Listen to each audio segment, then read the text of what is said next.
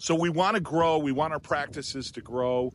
We want to have more freedom. We certainly want to have greater success. We want to spend more time with the loved ones we have. We want to feel more fulfilled. We want to feel more purposeful for the for the work we do each and every day. So what's that secret, guys? What is the way that we do that?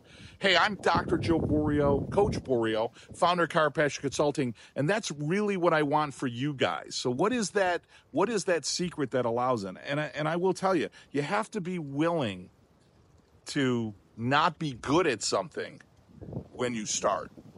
Every master, if you will, started as an amateur, right? And all of us, if we play the piano, some might have a little bit more of an innate talent than others. But but regardless, no matter who you are, when you start, you're not going to be good at something. You're not going to be great at something. And your willingness to be humble, your willingness to empty the cup, your willingness to start something that you kind of you kind of suck at. If you're willing to do that, and work towards getting better, boy, I'll tell you what, you can be great at everything.